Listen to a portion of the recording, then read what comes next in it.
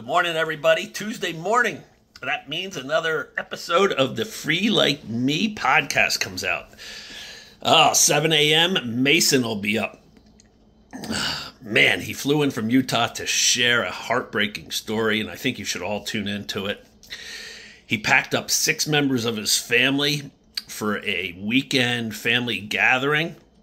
He had to stay behind because he had just started a new job and he had work commitments and he gets a phone call from a doctor saying there's been a horrible car crash.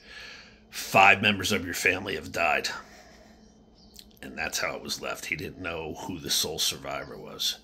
But can you imagine getting that phone call? So we're going to hear how he handled that and how he's managed to uh, continue on living. It's a, a, great story. So tune in. Uh, also, uh, the Free Like Me uh, coaching program is up and running. Many people had reached out to me. So if you're interested, go on to my landing page in my bio. There's a connect button, and you click that, and it opens up my landing page. And then there's a button that says, Are you willing to do anything and everything?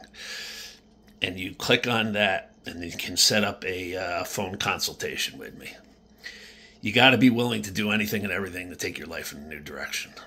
That's the key. And if you are, and your life is not satisfying, your life doesn't have purpose, you're self destructing, you're sabotaging, then let's get you going in a new direction.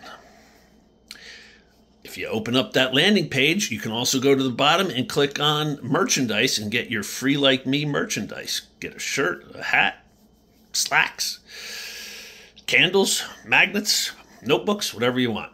So uh, it helps support the uh, podcast if you do that. So thank you for everyone who has uh, bought stuff. I appreciate that. And uh, how was your weekend? Over the weekend, I did work, exercise, as you saw with my burpee video, and I fired up. Uh, I bought at Christmas time. I bought a pizza oven, and this weekend was the uh, the first go of it. And not bad, not bad. We didn't uh, uh, didn't buy the uh, pre-made crust. We made it from dough, and uh, came out pretty delicious. I got to be honest with you. So uh, pizza oven, big success. So that was my weekend, and now uh, ready for a uh, great week ahead. Have a great day, everybody. Love you all. Peace.